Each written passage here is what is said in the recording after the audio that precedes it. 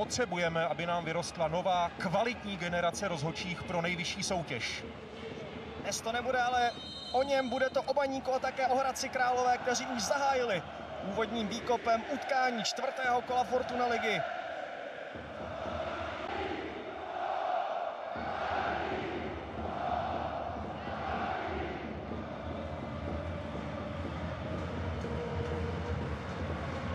Juroška.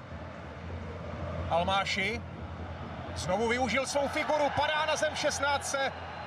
Rozhočí zaoral okamžitě gestikuluje, že tohle faul na penaltu v žádném případě. Almáši ale zatím není schopen vstát.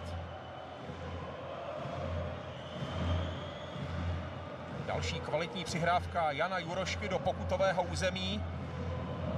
A Almášiho pád po té, co si zprvu dobře odstavil svého soupeře. Následoval střed s Čechem.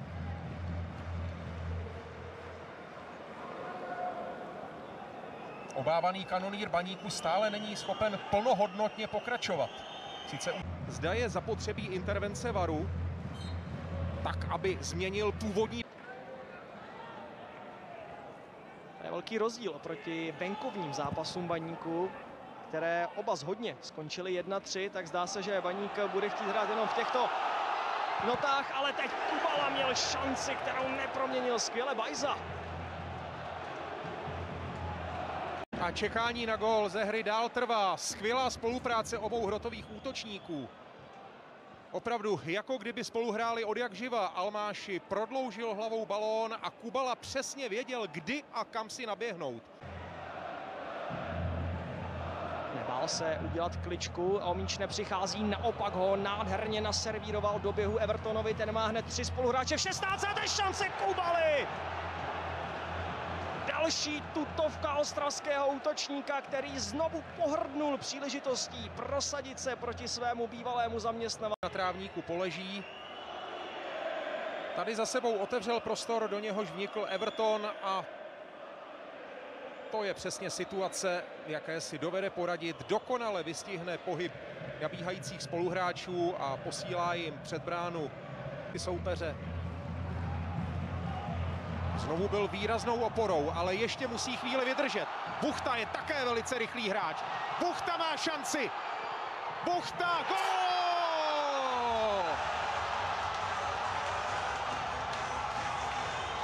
Tak na tohle v Ostravě čekali. Přišlo to až v závěru, ale o to je to sladší. David Buchta jako žolík. Tři minuty před koncem strhává vedení na stranu Baníku.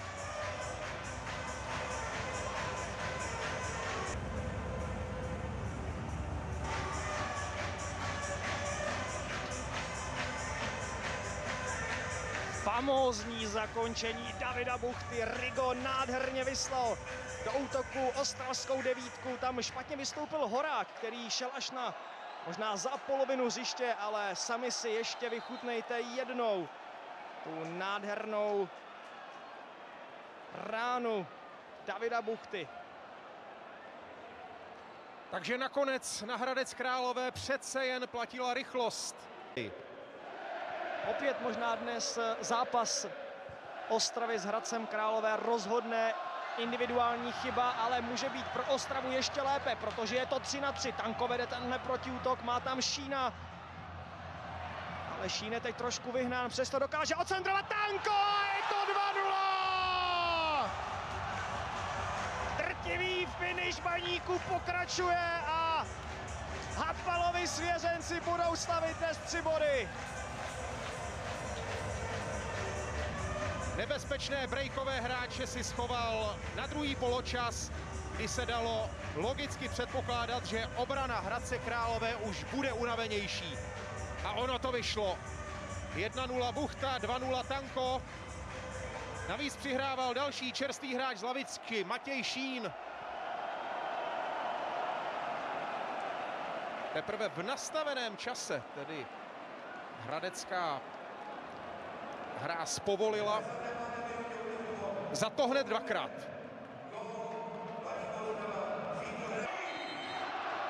Nyní se tedy může radovat. Je konec, Baník vítězí nad Hradcem Králové 2-0 díky mohutnému finiši